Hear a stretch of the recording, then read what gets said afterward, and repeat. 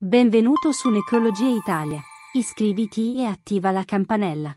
Franco Diogene, nato nel 1947 a Catania, è noto soprattutto per i ruoli di caratterista nel cinema italiano. Dotato di presenza corpulenta e voce inconfondibile, Diogene si distinse nei filoni della commedia sexy all'italiana e del poliziottesco, spesso interpretando il ruolo del bonario grassone. Nel film Il ragazzo di campagna interpretava l'assicuratore. Tra i suoi lavori più noti si includono La casa stregata, Attila flagello di Dio, 7 kg in 7 giorni, La classe non è acqua e Innamorato pazzo.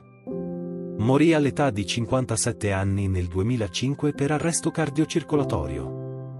Enzo Cannavale, nato a Castellammare di Stabia nel 1928, scoperto da Edoardo De Filippo mentre lavorava alle poste, è stato un prominente attore del teatro napoletano, noto per la sua verve ironica e comica. Interpretò il personaggio non vedente nel ragazzo di campagna.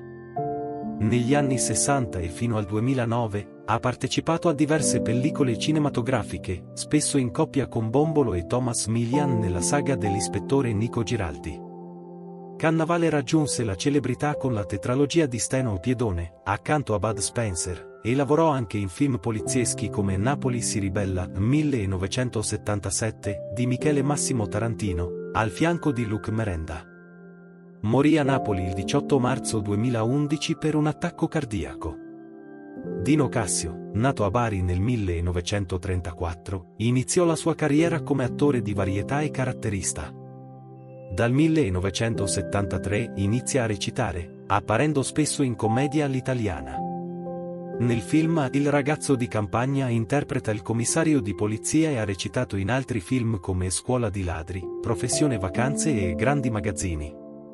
Uno dei suoi ruoli più celebri è quello del prete che incontra Lino Banfi nella surreale scena degli schiaffi di Vieni avanti cretino del 1982 si è spento il 9 luglio 2012, all'età di 78 anni.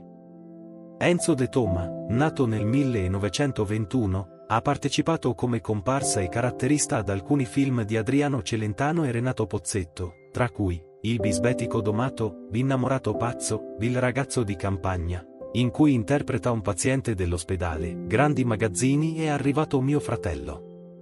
L'ultima apparizione risale a Cia Rotto Papà del 1993.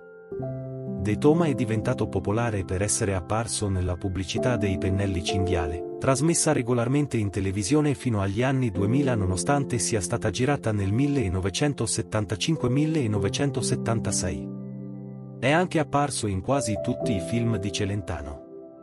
È morto nel 1999. Enzo Garinei, nato nel 1926 a Roma, debuttò sul grande schermo nel 1949 in Totole Mocò e durante quattro decenni partecipò a numerose commedie musicali e film, spesso in ruoli secondari, riducendo le sue apparizioni solo dagli anni 90. Nel ragazzo di campagna interpreta il direttore del Residence. Negli anni 97-98 fu protagonista della serie televisiva Io e la mamma, affiancato da Delia Scala e Jerry Scotti. Nel 2008-2009 lo abbiamo visto in Facciamo l'amore e aggiungi un posto a tavola, insieme a Gianluca Guidi e Lorenza Mario. È morto nella sua casa a Roma il 25 agosto 2022, all'età di 96 anni. Guido Spadea, nato a Milano nel 1921, iniziò la sua carriera nel mondo teatrale a 21 anni, nel 1942, lavorando come macchinista e scrivendo scenette di argomento locale. La sua abilità lo portò a collaborare con Mario Carotenuto e altri artisti, diventando un autore televisivo rispettato. La sua versatilità lo condusse a intraprendere anche la carriera di attore, soprattutto caratterista. Nel ragazzo di campagna interpretò il collega dell'assicuratore. Uno dei suoi ruoli più noti fu quello del maestro Nannini nel film Il maestro di Vigevano del 1963, accanto ad Alberto Sordi. Morì il 28 maggio 2013. Elio Veller, nato a Caldogno nel 1937, Veller iniziò a interessarsi al teatro durante gli anni trascorsi in un collegio salesiano. La sua carriera teatrale decollò quando entrò al piccolo teatro di Milano, dove rimase per circa 15 anni. Arriverà a lavorare con Franco Parenti, Dario Fo, Anna Maria Guarnieri e Luca Ronconi, ottenendo successo anche a Broadway. Nel ragazzo di campagna interpreta Margherita, l'omosessuale.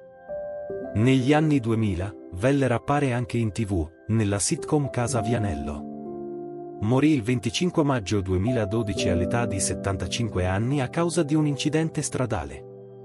Jimmy il fenomeno, nato nel 1932 a Lucera, è stato un attore caratterista, ricordato per il suo viso dall'espressione inconfondibile, lo sguardo strabico, la parlata dialettale e la sconclusionata risata. La sua carriera nel cinema iniziò nel 1957, quando venne scoperto da Rosario Borelli e ingaggiato per il film Gambe d'oro con Totò. Da allora, ha partecipato a oltre 150 film, interpretando una vasta gamma di ruoli, dalla commedia all'erotico.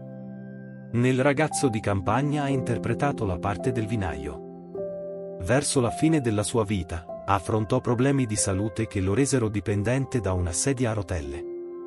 Morì il 6 agosto 2018 all'età di 86 anni.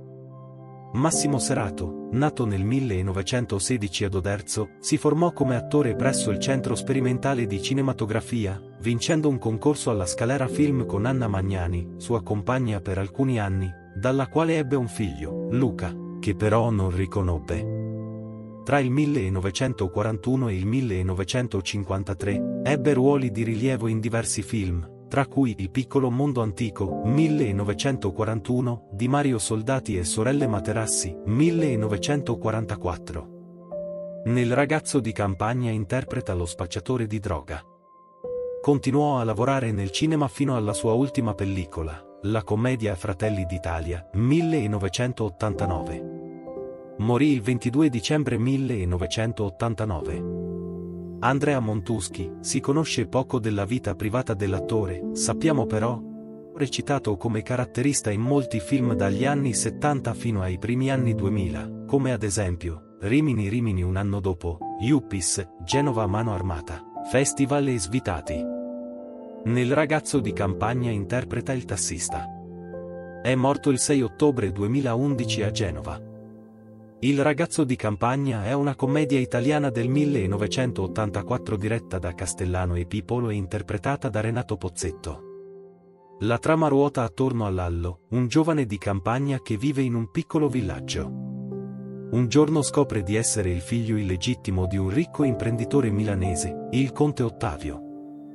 Dopo la morte del conte, Lallo eredita la sua fortuna e si trasferisce a Milano per iniziare una nuova vita. Nella grande città, Lallo si trova ad affrontare una serie di situazioni comiche e imbarazzanti mentre cerca di adattarsi alla vita urbana e alle sue convenzioni sociali. Nonostante la sua ingenuità e il suo modo di fare semplice e genuino, Lallo riesce a conquistare il cuore di alcune persone, dimostrando il suo valore nonostante l'origine modesta. La commedia esplora temi come l'ascesa sociale, l'identità personale e le differenze culturali tra città e campagna, il tutto con un tocco di umorismo irresistibile tipico del cinema italiano degli anni Ottanta.